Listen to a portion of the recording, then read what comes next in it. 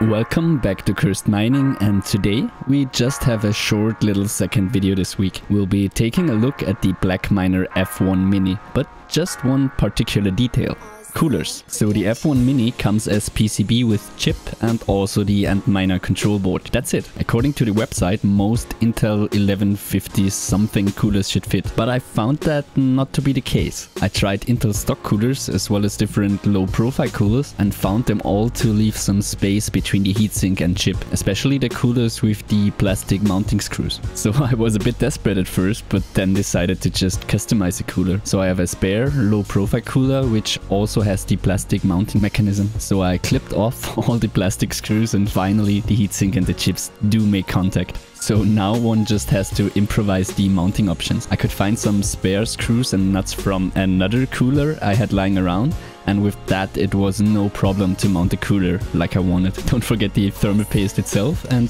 also don't forget to still always screw in a cross pattern, not to have too much pressure on only one side. I can't tell you how this behaves with larger CPU coolers since I had no free one around. So that's already it for today. I really just wanted to quickly talk about the cooler topic if you just received your BlackMiner F1 Mini and were also having problems with coolers. On Tuesday we'll have the full first impressions video for the machine. So the whole setup process as well as my initial review after one week of running. Thank you very much for tuning in a second time this week. We just had the monthly farm update where I promised from now on we'll be having a look at some different machines as well. And there you have it. Let me know what you'd like to see. I wish all the best to each and every one of you. Happy mining and bye!